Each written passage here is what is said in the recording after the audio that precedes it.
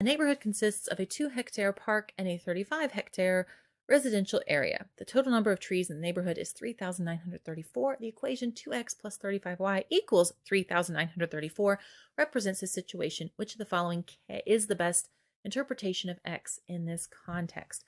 Well, look at our numbers that are corresponding. We have a 2, a 35, and 3,934.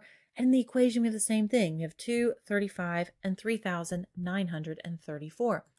So we know that 3,934 is the number of trees.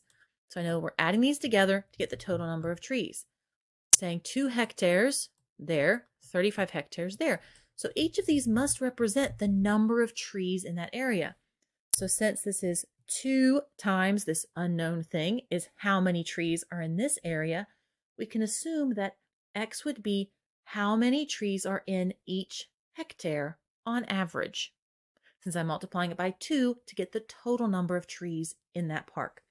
So my answer then would just be A, the average number of trees per hectare in the park. I hope you enjoyed that today. Um, if it was helpful, useful in any way, please like, share, subscribe. You know the drill. Thank you so much for stopping by. Hope you have a great day. See you later. Bye.